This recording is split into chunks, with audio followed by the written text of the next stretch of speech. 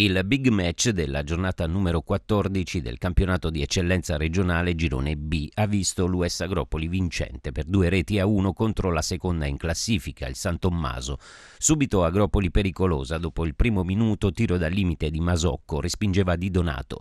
Al terzo vantaggio agropolese, Limatola era lesto a raccogliere dal limite e a fulminare il portiere ospite, davvero un grande inizio per i Delfini. Al sesto retropassaggio errato di Garofalo non ne approfittava Vallone pallone e russo raccoglieva senza problemi. Al quattordicesimo ancora pericoloso Limatola di testa, palla alta di poco. Al diciassettesimo tiro secco di Dattilio, respingeva di Donato. Al diciottesimo Graziani vicinissimo al 2-0, palla che attraversava tutto lo specchio e finiva fuori. Al ventitreesimo occasionissima per gli ospiti, diagonale dal limite, rasoterra di Carotenuto, palla sul palo. Alla mezz'ora bel tiro poco oltre la metà campo di Natiello, grande parata di Di Donato sul successivo successivo corner battuto da Capozzoli, colpo di testa ravvicinato di Francesco Russo, palla alta.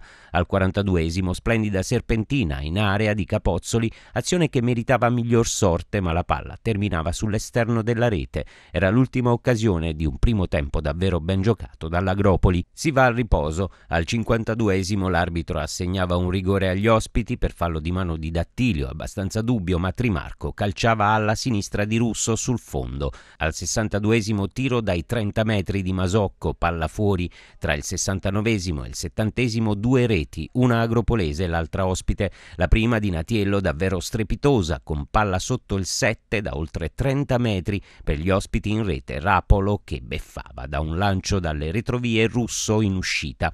Al 72esimo palo del San Tommaso, bel dribbling di Trimarco in area dopo aver dribblato un difensore agropolese. All'81esimo bella sventagliata di Masocco per Dellisanti, entrato al 70esimo al posto di Limatola, tocco di punta raccoglie Di Donato. Al 93esimo ci provava Carotenuto su punizione, Russo alzava in corner. Non accadeva più nulla dopo i sette minuti di recupero, vittoria importantissima per l'US Agropoli che sale a quota 23 e si rilancia prepotentemente nelle zone alte della classifica. Un primo tempo buono da parte nostra, però anche il San Tommaso ha creato le sue occasioni. Dopo il cambio di sistema di gioco loro abbiamo, siamo andati un po' in difficoltà, abbiamo iniziato a calciare palle in avanti, cosa che non dobbiamo fare. Noi siamo una squadra costruita per giocare a calcio il secondo tempo abbiamo riniziato bene, abbiamo trovato il gol, poi una disattenzione difensiva che ci può stare, un'incomprensione tra Luca e Sem.